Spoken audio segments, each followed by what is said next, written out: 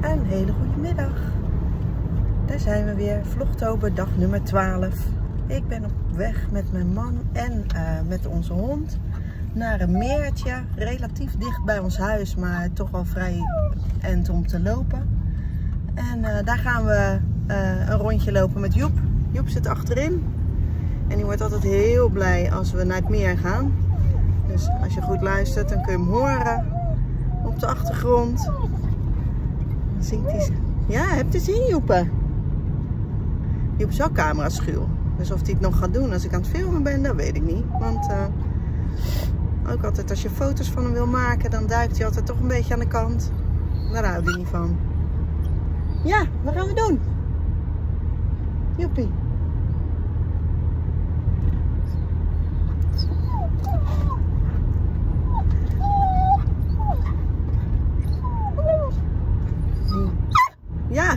Ook zin. We zijn een poos niet bij het meer geweest, want dan mag je alleen buiten het seizoen heen. Dus vanaf 1 oktober mogen we hier weer met de hond lopen tot eind april geloof ik. En daarna is het weer uh, voor recreanten die hier lekker bij het meer willen zitten. Nou, je ziet het. Het is een heel stukje hobbelweg. Maar de Joeperman is een heel blij hond. Hij vindt het helemaal spannend.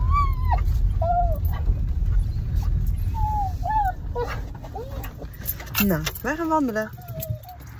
Komt de Joeperman uit de auto. Deze kant op, Joep. Joep, hierheen. Joep, kom. Ja, goed zo. Kom gauw.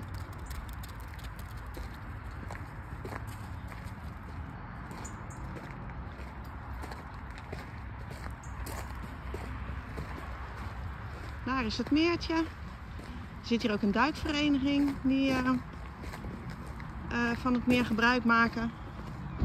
Schijnt ook het een en ander wel op de bodem te vinden te zijn. Ik geloof een, uh, een bushokje of een telefooncel of zo. Maar nou ja, zover heb ik het meer nog nooit onderzocht. Hier kan hij lekker het water in. Dat vindt hij altijd erg leuk. Het is echt wel een hondensoort. Die, je ziet daar die rietkraag aan de overkant. Nou, dat vindt hij heerlijk om daar doorheen te schinkelen.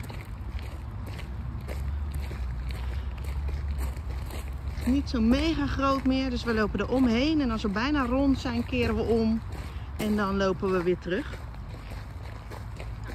Joep, die gelukspoepert, die vindt gewoon gelijk een balletje. En dat vindt hij toch wel echt het allerleukste. Wij nemen zelf nooit een bal mee, want um, nou ja, hij raakt zo gefocust op die bal dat hij gewoon helemaal geen aandacht meer heeft voor de rest van zijn omgeving. Maar ja, alles wat hij vindt, daar gaan we natuurlijk even mee spelen.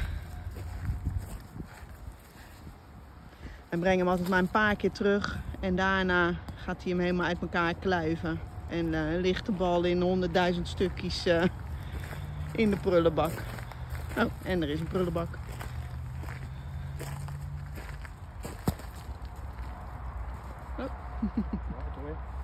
Ja, dit vindt hij heel leuk. Hier is onze joeperman ergens in de rietkraag. Ik hoor hem wel, maar ik zie hem nog niet. Je ziet wel het riet bewegen, dus daar is hij ergens.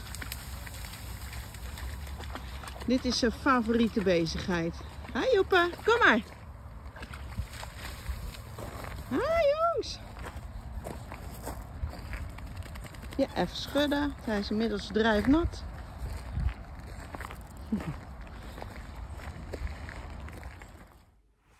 Goedenavond, daar ben ik nog Ik heb echt een heerlijk relaxed dagje gehad. Uh, het is inmiddels iets over half zeven.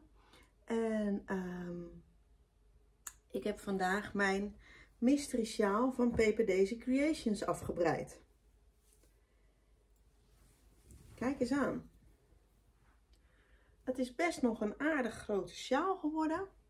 Maar hij heeft echt een badje nodig. Want hij is uh, deze, deze bovenkant, dat is zeg maar de rechterkant. Maar die loopt niet recht. Want, nou ja, door de manier waarop ze hem uh, gebreid heeft, is die bij mij aan de bovenkant een beetje een punt gekomen. Ik heb dat bij meer sjaals gezien die ik in, um, in de Ravelry groep van Daisy Creations gezien heb. Dus ik dacht, ik ga hem opspelden. Ik ga hem even in een badje doen en dan speld ik hem op. En dan dacht ik uh, dat het leuk was om hem eventjes te bespreken. En ik zal het opspelden uh, filmen. Ja, dat was mijn idee. Dan ga ik mijn behandeltafel even aan de kant zetten en dan klap ik het bed even uit. Want dat is eigenlijk altijd waar ik mijn, uh, uh, mijn breiwerken opspeld om ze, om ze te laten drogen. Dus ik kom zo bij je terug. Tot zo. In de keuken. Ik ga eerst de sjaal even in een badje doen.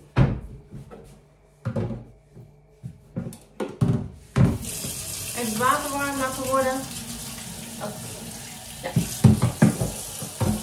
Het moet natuurlijk niet heel heet, maar een beetje handwarm hè.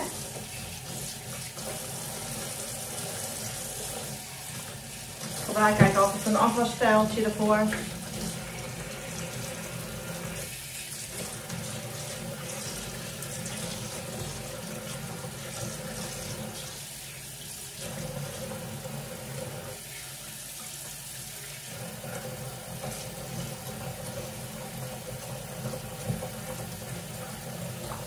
Doe daar een druppeltje eucalan bij. Ik heb de lavendelgeur. Volgens mij. Ja, lavendel. Nou, eucalan heb je natuurlijk maar heel weinig van nodig, want je spoelt het niet uit. Dus, nou ja, een druppeltje is eigenlijk echt genoeg. Zo.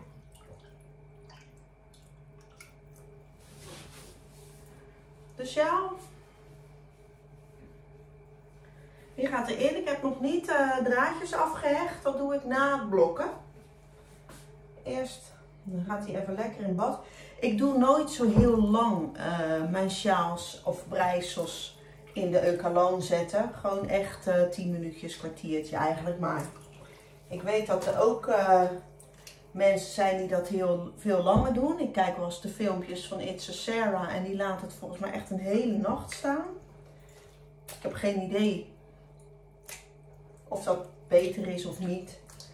Ik doe altijd wel echt een beetje, nou ja, niet, um, niet heel veel bewegen, maar wel goed even duwen dat alle lucht eruit is. Dat overal echt wel uh, um, goed water in zit. Zo.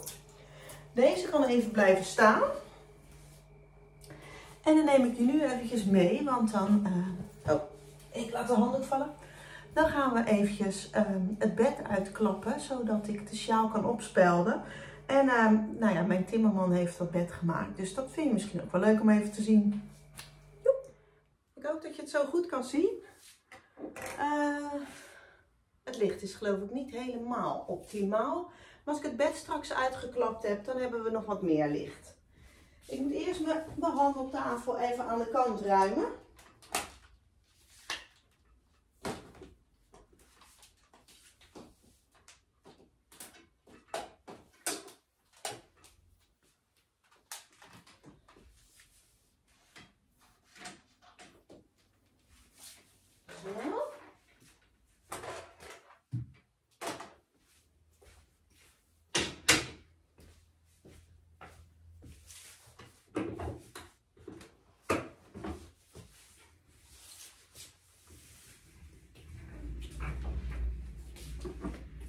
Deze kan even hier staan.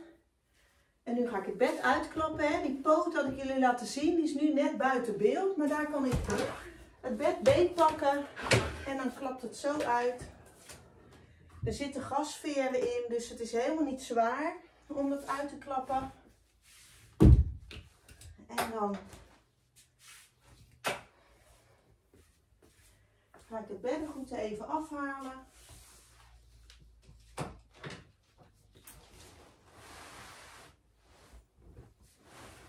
Zo.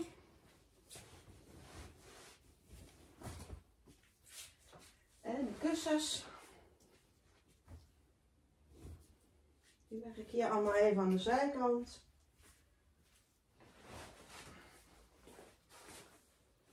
Zo.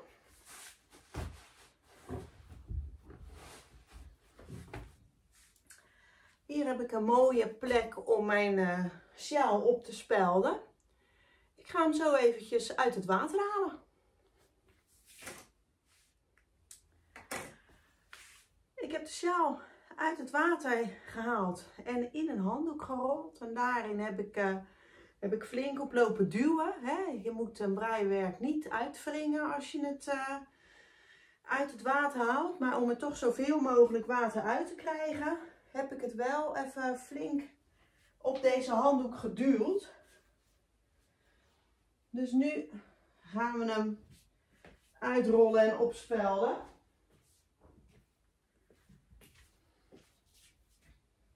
Ik heb het licht in het bed. Ja, dat kun je niet zien, maar er zitten spotjes in het bed. Die kan ik dimmen. Die heb ik ook aangedaan. Zodat we maximaal licht hebben. En als die opgespeld is, dan film ik nog eventjes van dichtbij, ja? Dat was mijn idee. Dus.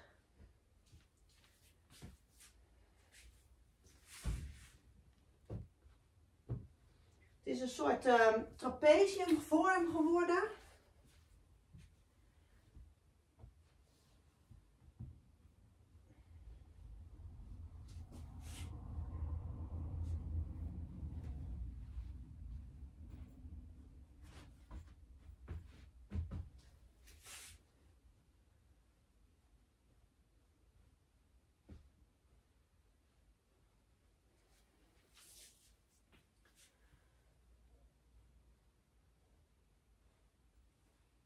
Is, denk ik, behoorlijk te groot voor op het bed.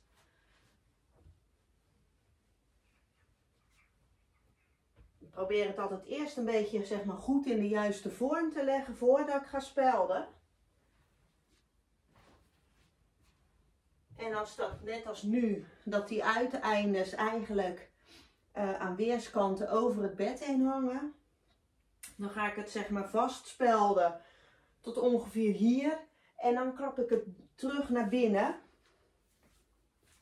Zodat alles netjes opgespeld wordt.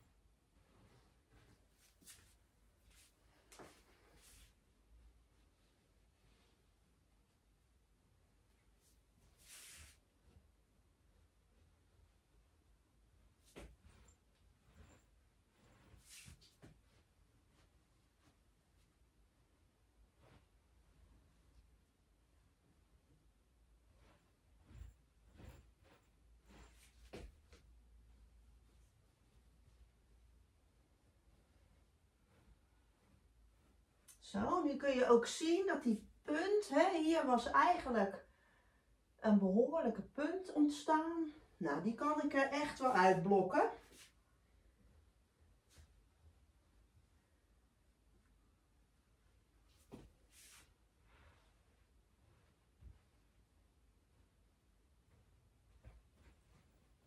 Zo.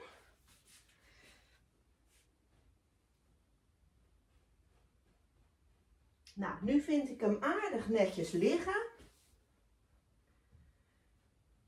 Dit is uh, de middenlijn, die is redelijk recht.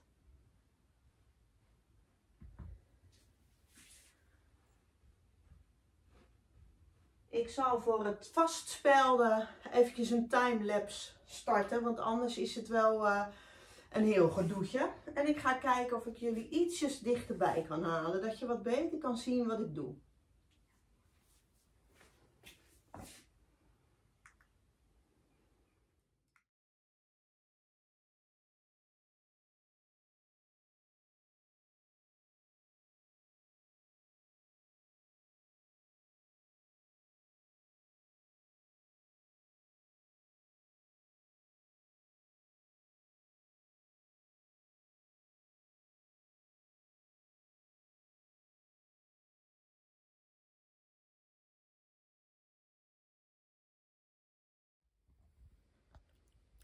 Oké, eh, de hele sjaal is opgespeld.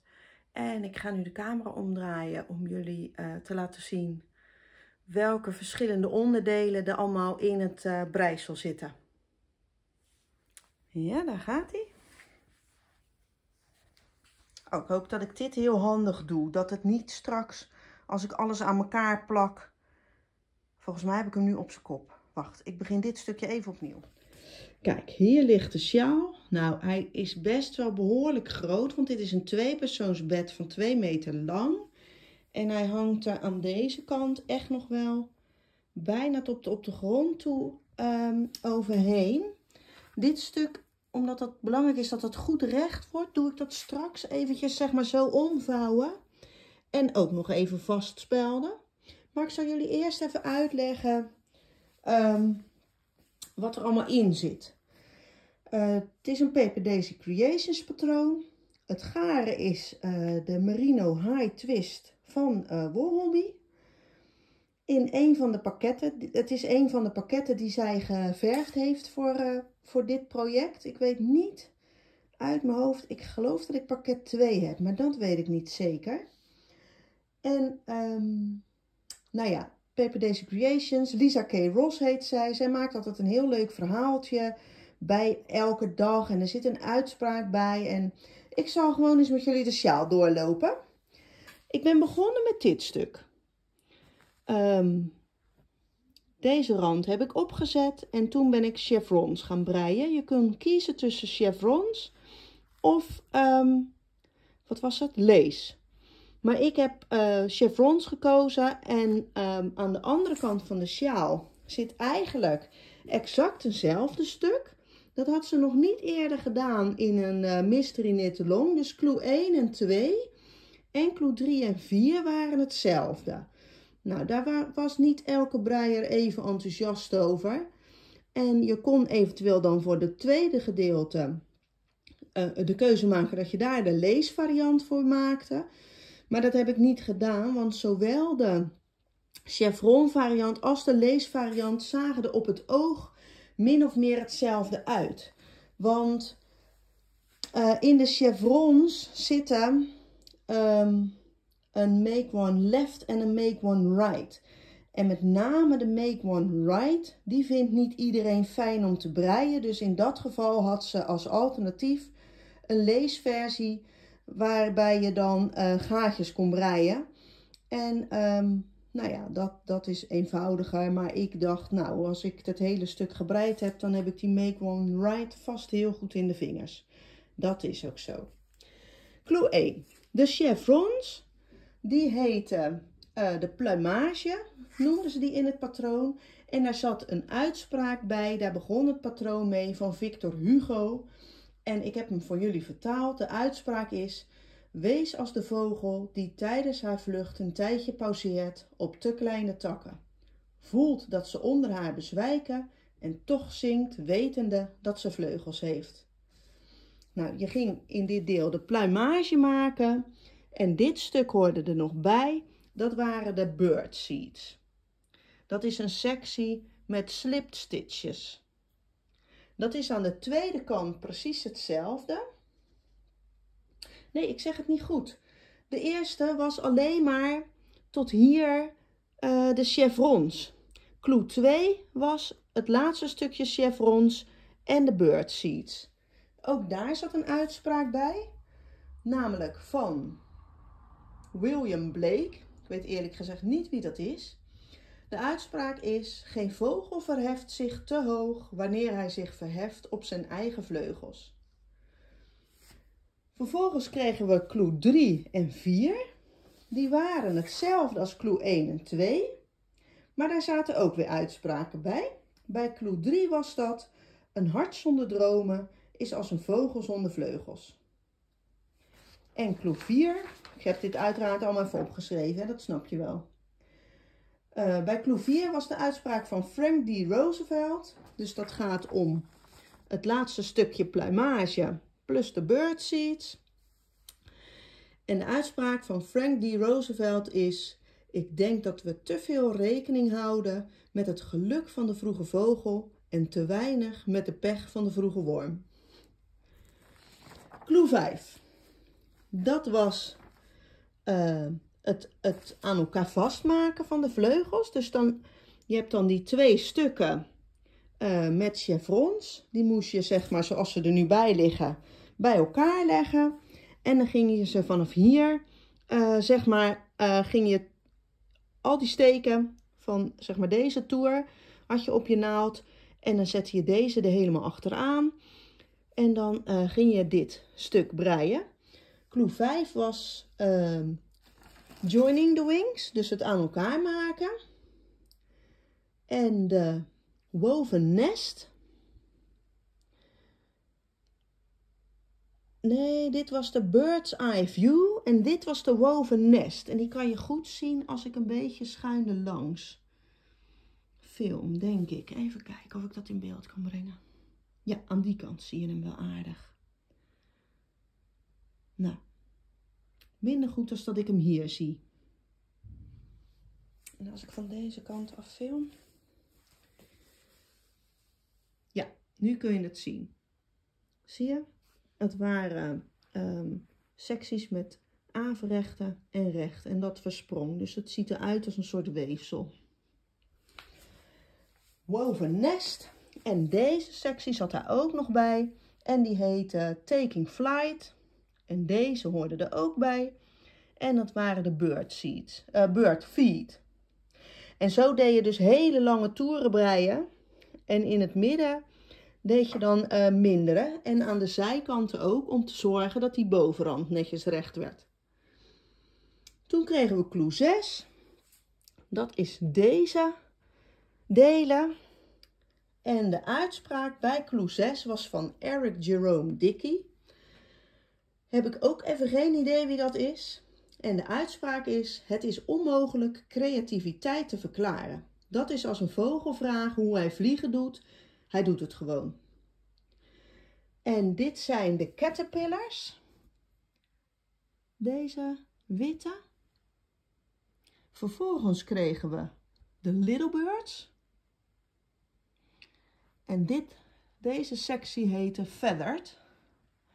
En dat was het laatste stukje ribbelsteek waarmee we uh, het laatste driehoekje breiden. En dat is de hele sjaal. Nou, uh, ik hoop dat je dat leuk vond. En dat ik het een beetje goed in beeld kon brengen. Want het is toch een beetje lastig om... Uh, nou ja, dit bed is vrij laag, zeg maar. Dus um, ik moet echt wel gebukt staan om en alles aan te wijzen. En dan ook nog opletten dat je de juiste stukjes in beeld hebt. Dat, uh, en dingetjes voorlezen. Maar goed, ik vind het altijd wel heel leuk hoe zij uh, het patroon zeg maar opzet. En dat er eigenlijk elke keer dan zo'n uitspraak, hè, een beetje zo'n gedachte waar je over kan mijmeren, bij zit. En uh, alle stukjes, verschillende steekjes. Um, ja, ik vond het erg leuk. Ik zal komende week uh, mijn andere sjaal van Paper, Daisy Creations, die ik vorig jaar gebreid heb, ook nog een keertje laten zien en uitleggen. Uh, want toen had ze ook een beetje zo'nzelfde idee. Ik ga het er voor nu hierbij laten. Ik ga de stukjes achter elkaar plaatsen en dan uh, zet ik het online. En het is inmiddels kwart voor acht. En dan ga ik met mijn hondje lopen. En dan heerlijk nog even breien. Fijne avond.